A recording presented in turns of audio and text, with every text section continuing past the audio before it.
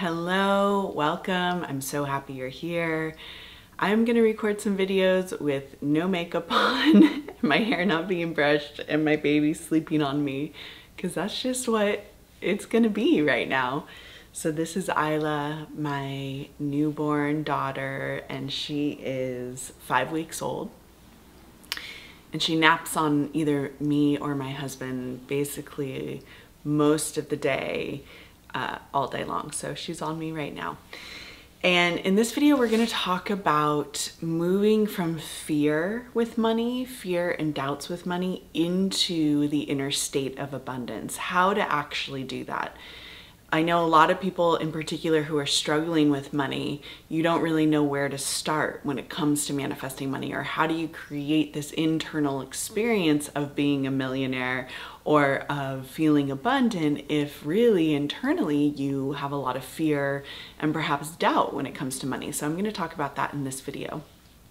Before I jump in, my signature manifesting money course is on sale this week for $400 off, for 40% off and it's called Embodied Millionaire. And it is a deep dive five module course that will take you through a process of really stepping into the inner state and the inner self concept of being a millionaire. So, this process is everything I've personally done for myself to become a millionaire. And I basically outlined it, put it in a course, and giving it to all of you if you feel like that's something you want to join. So, the link is directly below in the description if you want to join the course. Um, it's just going to be on sale for two weeks.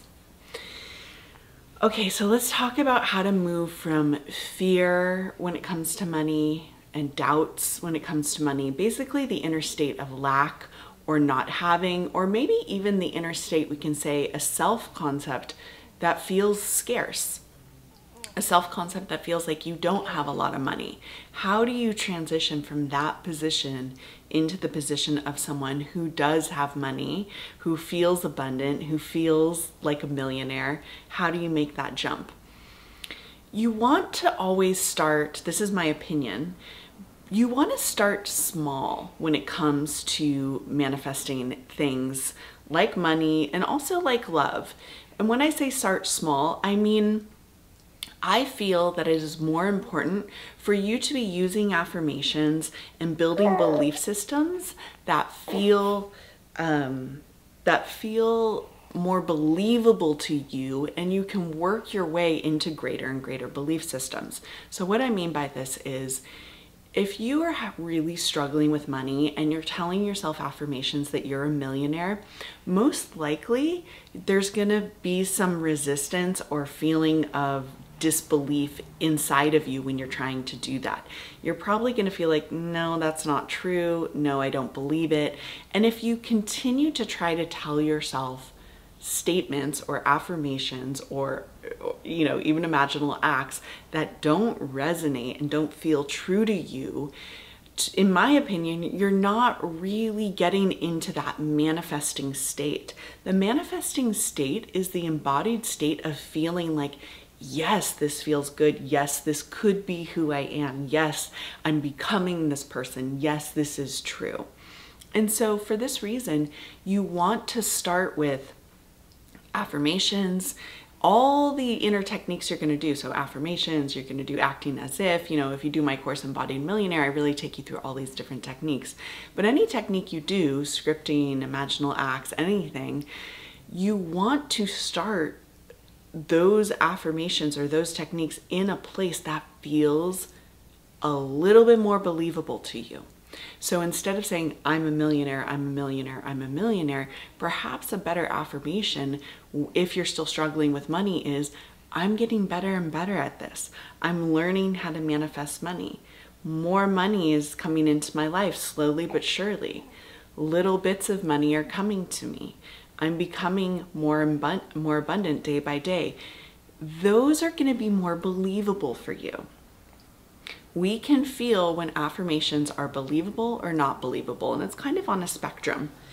And you can tell if an affirmation is believable to you by the way it makes you feel internally.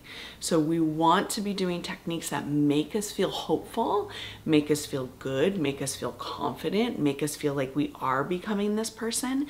And therefore, you really have to find the right wording for yourself. What's gonna make you feel good about money right now? What's going to make you feel like you are progressing in the area of creating more money for yourself? Start with those types of inner conversations, inner techniques, affirmations, and work your way up. Because what will happen is when you do the inner work and you do it really well, you really will start to change. Your set point for how much money you will receive will change. It will go up, it will shift. And this is what happens. Eventually, with particular self concepts, you reach a point where it feels very natural to receive a certain amount of money. I've reached a point, which is kind of wild for me even to say now, but I've reached a point where creating a million dollars is actually really natural and normal for me. That's what happens. And it's just going to continue to go up and up and up from there because the more comfortable I am with a million dollars, then I'm more comfortable with $2 million, $3 million. You know, it just continues to happen.